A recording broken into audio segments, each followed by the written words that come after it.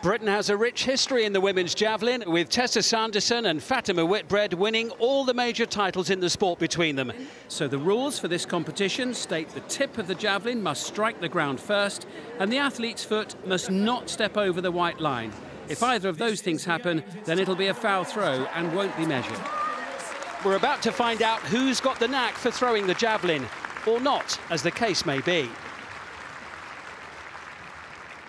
So we're ready for the competition to get underway, and the first to throw tonight will be Rebecca Sarker. Now, she's got a good little skip on the delivery stride, the impulse strike as it's called. First throw is a good one from Rebecca Sarker. Yeah, just look at that. She stops just there. She's got to try and make sure that it's a full flow, that when that arm goes back, it follows through and she does that, but it doesn't go very far. So it's a legal throw, which is the main thing. And 13.41 is the opening throw for Rebecca Sarker. A reminder, it's the best of the two throws. Olivia Attwood is next. She's been suffering with a rotator cuff injury to her left shoulder. It's not her throwing arm, but it does potentially affect the throw. Needs to commit, Simon. She's so cautious, really cautious. The best throw she's done in training is around the 10-metre mark. The result is in, and it's 10.79. Wow. A personal best, a PB, Simon. Look at that. Third celebrity to throw, Lucrezia Millarini. Now, she's worked really hard this event. She's had to basically because she's five foot one, which means she is at a slight disadvantage. Ideally for the javelin, you'd have big, long levers.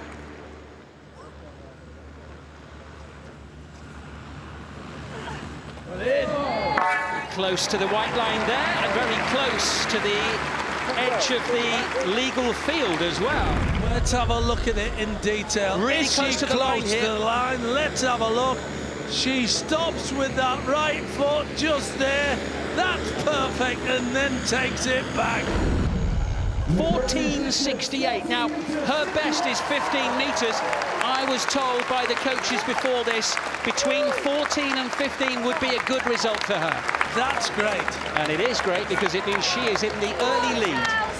Chelcee was next to throw, but despite being front runner in training, threw a foul. If it's tip first or flat, it will count. Tail first, it's a foul throw. Christine was another contender, but also failed to make a legal throw. The red flag goes up. Oh. Yeah. And things didn't fare much better for Phoenix. Which way will it go? With a third foul throw. It may well be another no, no throw. She's gutted as well. Why, she's saying. Both the javelin and the actual positioning of her feet count as a double fault. Uh, she knows now. Devastated, gutted. So the first round is complete. Lucrezia Millarini leading the way, 14 metres 68. Rebecca Sarker, who was the first to throw, in second place. And Olivia Attwood, with a personal best of just over 10 metres, is in third.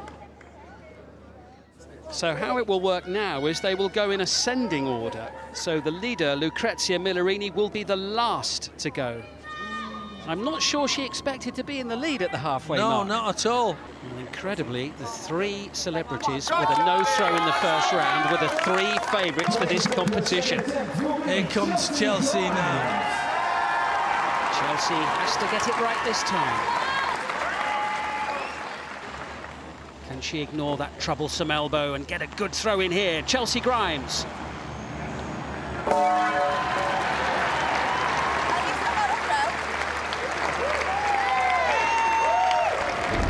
Let's have a look once again at Chelcee's throw.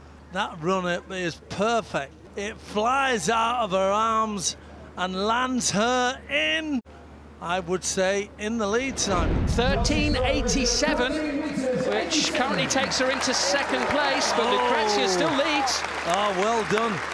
Christine gets ready for her throw. The coaches know her for working in short, sharp bursts. Well, a good short, sharp burst will serve her well here.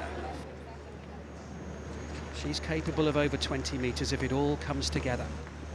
Did that land flat? Let's wait for the white flag. It is a white flag. The throw is good. It looked as if it was just over the 20 metre mark. We're waiting for official confirmation. It's a nervous, anxious wait. 20 0 5. Look at her, delighted. Well, was a short, sharp burst of concentration that took her to the top of the leaderboard.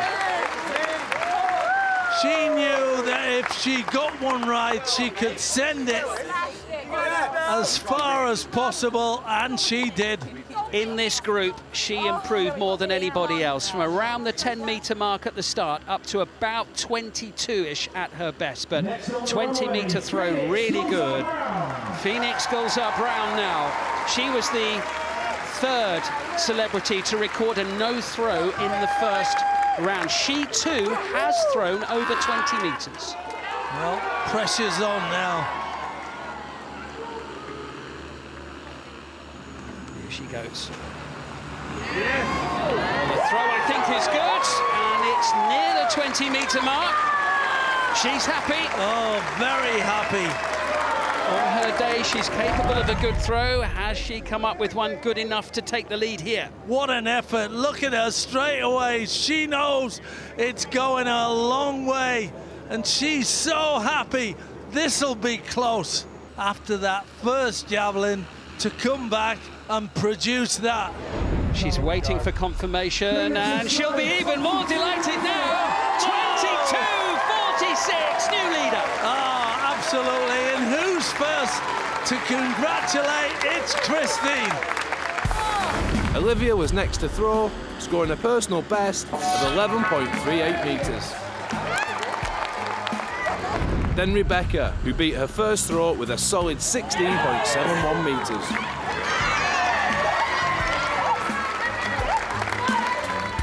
So Lucrezia Millarini was the leader after the first round, but she currently finds herself in fourth place. So she's got it all to do here, Kammy. She has indeed.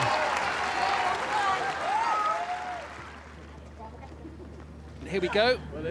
What's the distance? Well, good effort.